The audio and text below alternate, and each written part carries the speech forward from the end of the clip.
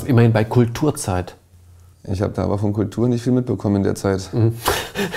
ähm, kanntest du die Person selber? Vorher? Nein, nein, nein, überhaupt mhm. nicht. Mhm. Würdest du dich mit ihr an einen Tisch setzen? Klar. Mhm.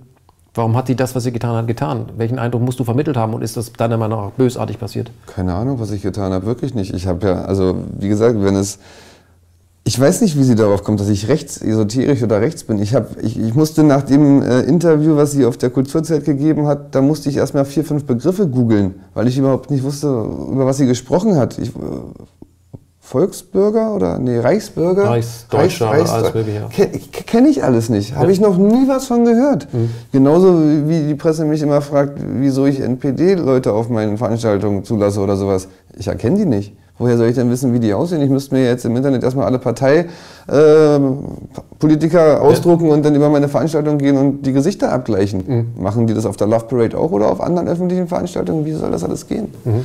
Also, ja, keine Ahnung. Das kam dann halt auch noch dazu, dass dann irgendwelche rechten Politiker unsere Veranstaltung besucht haben. Mhm. Aber auch Linke.